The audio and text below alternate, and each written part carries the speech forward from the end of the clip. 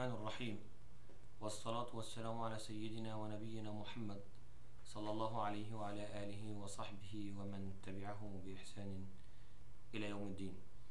أما بعد فلا شك أن البحث في حقوق الإنسان له أهمية كبيرة من جوانب متعددة وهو موضوع متجدد ومتطور بتطور الأزمنة وقد مرم هذا المفهوم بعدة تحولات أهمها التحول من دائرة الأخلاق إلى دائرة القانون منذ القرن السابع عشر الميلادي. عبر التجارب السياسية واجتهادات المفكرين والفلاسفة لتأتي الشريعة الإسلامية وتعطي لهذا المفهوم بعدا عالميا من منطلق عقائدي لم ترقى إليه التشريعات والاتفاقيات الدولية بعد. وانعكاسا لذلك تبلورت حقوق وحريات الأفراد في شكل إعلانات عالمية ومواثيق دولية شكلت مصدرا دوليا اعتمدت عليه الدول في وضع دساتيرها مما يعد رمزا للتطور والرقي. وعنوانا للوحدة القانونية بين مختلف أعضاء المجتمع الدولي رغم الاختلاف في النظام السياسي والاجتماعي والاقتصادي. ورغم ذلك إلا أن هناك تحديا يواجه تلك الثوابت أفرزتها فكرة العولمة.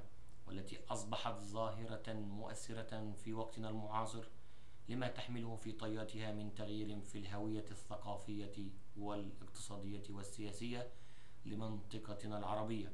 ولكن الأمل معقود على التربية بمناهجها المختلفة لتحصين الأجيال بالعلم والمعرفة وترسيخ الثوابت الوطنية النابعة من الثقافة والتاريخ لتلك الدول وهي دعوة للإسهام في العولمة فنكون فاعلين ومؤثرين ومستفيدين من تقنياتها بدلا من أن ننشد الماضي ونبقى معا تفرز فيه العولمة جانبها السلبي.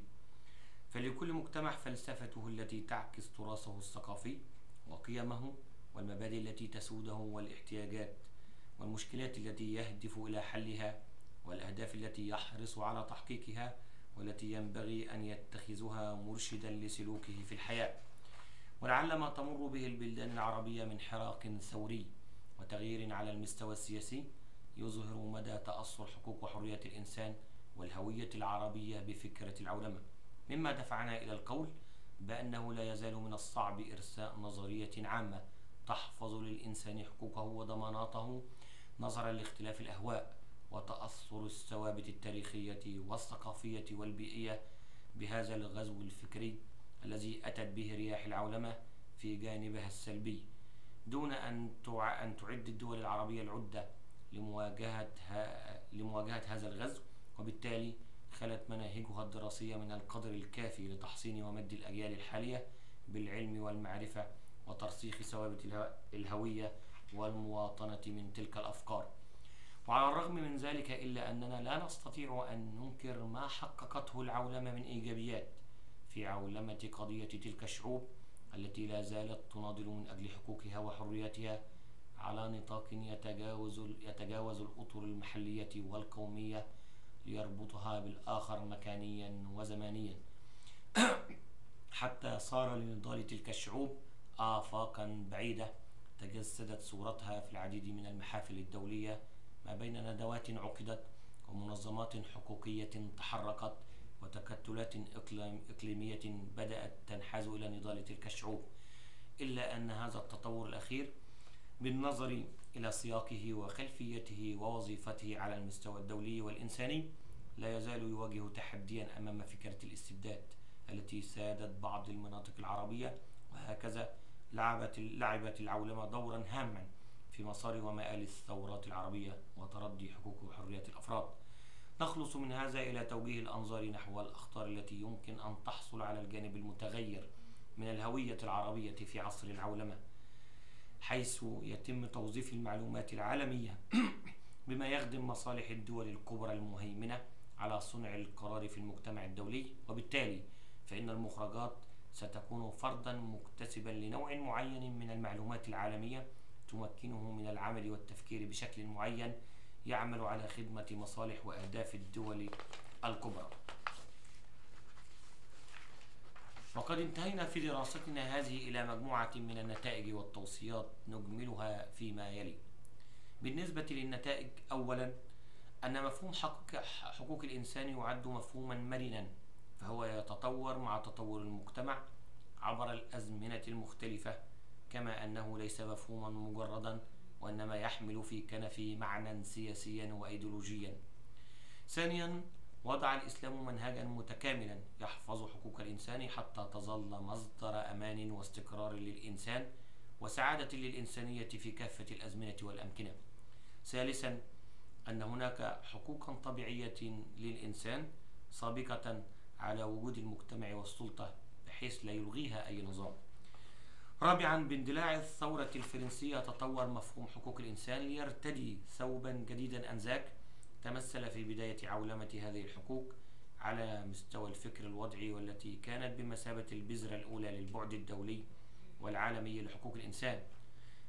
خامسا أن حقوق وحريات الأفراد لم تتحول من دائرة الأخلاق إلى دائرة القانون إلا ابتداء من القرن السابع عشر الميلادي. أما سادسا فأن فكرة عولمة حقوق الإنسان على مستوى الفكر الوضعي تنطلق من فكرة الحريات وفكرة العقد الاجتماعي وفكرة الحق الطبيعي. أما بالنسبة للتوصيات أولا لتجنب التأثير السلبي للعولمة.